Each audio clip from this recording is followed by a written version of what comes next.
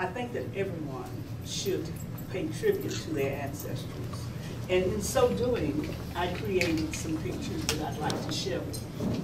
This is my Aunt Mandy and her husband Rufus. Rufus was an infantryman in World War I who came home to let everybody see him in his uniform.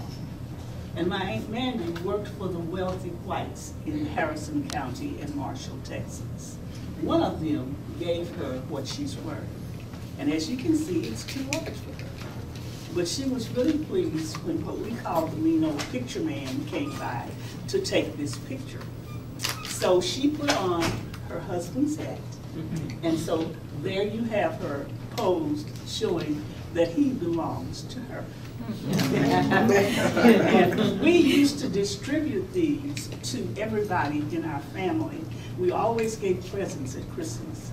And we were told not to spend more than twenty dollars of them. And there were, for them, and there were two founders, by the way, of Stepping into Destiny Arts. The other one was my first cousin, James Weissner, who is suffering from dementia, so he isn't here. But the gift was given to both of us, and we decided that we would share it. And he also would do these pictures. Then we would go out to Kinko's at that time, get them copied, and get us some construction paper, and we would give them to our relatives for Christmas. But my aunt, who passed away, that was our, our parents' oldest brother and sister, okay, left us twenty-five thousand dollars in her will for us to be able to market and protect our art. But we decided that there were a lot more people who were young, struggling artists who needed to have the same protection.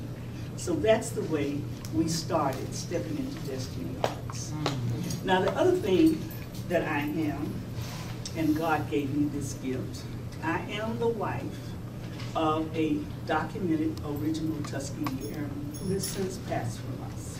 So I have a picture of his mother, and we call her Mother Marie. And Mother Marie has distinct, distinct pleasure of being not the mother of one documented original Tuskegee Airman, but two. Hmm. Now, I'm in the process of painting the other one because somebody finally sent me a picture of him. But both Claude and Atral Platte were documented original Tuskegee Airmen who lived at 1422 New York, which is right up the street in the part of Terrell Heights, okay? So we wanted you to know about them. And this one I call my Tuskegee Airman because he was my husband. And when I painted this picture for him, somehow or another, he decided that he could sign it. Which gave him a really bad in the family. But I just came back and painted over it. He said to me, you shouldn't have done that because what's mine is mine and what's yours is mine and I can sign anything. You would have had to know Claude to know how bad he was. But these are the three things that I did that way. And this is called Free at Last. And I did that when we had a 19th of June exhibition that was downtown in the city hall, And it's showing the blockade of the Bay of Galveston and the general on the ship, and of course, the people leaving the plantations and coming away to get their land. So we call this Free